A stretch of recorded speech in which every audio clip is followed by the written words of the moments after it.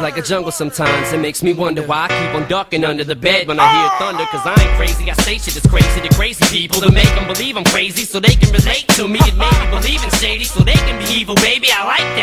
Only as crazy as people made me believe me. there'd be just as many motherfucking murderers and heroin users without Marilyn's music. But I figure I make my music. I don't care if you use it to murder somebody. I just wanna be there when you do it. Now the parents are suing cause little Darren is screwing Karen and Susan. Cause I told them to do it on Clue's New shit. Now it's all ruined. The whole world is fucked up. Cause of me, two 12 year old girls is knocked up. My attitude's fucking like Pac's was at one point. Wanna come join? Pick up a Glock and just point. Now everybody's killing everybody and everybody's bloody. And I'm just laughing like it's funny. Cause I don't really give a shit about no motherfucking buddy. I'm so motherfucking nutty.